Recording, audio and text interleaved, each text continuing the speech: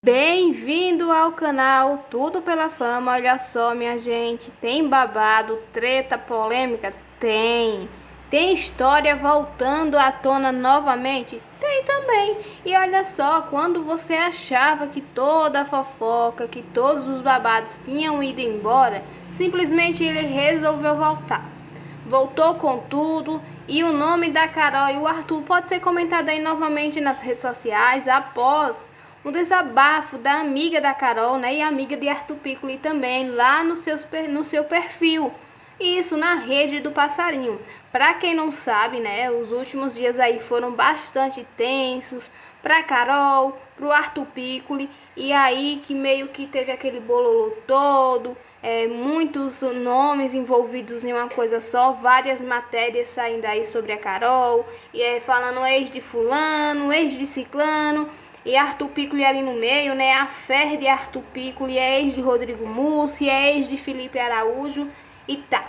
O Arthur se revoltou, foi lá, pediu para que esquecesse ele, deixasse ele em paz, que ele não tem nada a ver com treta dos outros, o que passou, passou.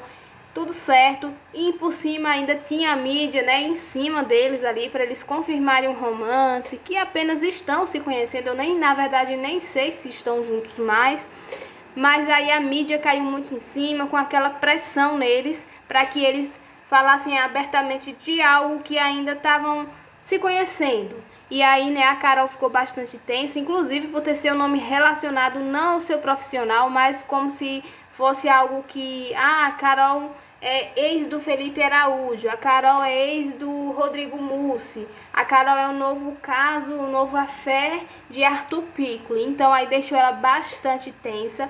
Aí, né, os fãs do Arthur Piccoli, alguns saiu em defesa da Carol, Assim como a amiga dela, Gisele Bicalho, falou assim: Dia Internacional da Mulher foi essa semana e é muito triste ver a Carol sempre sofrendo por matérias resumindo ela ser mãe de um filho maravilhoso, de um pai famoso. Ela tem profissão que custa colocar Caroline psicológica, sim, mãe do pequeno Miguel. Para quem não sabe, ela é graduada pós-graduada.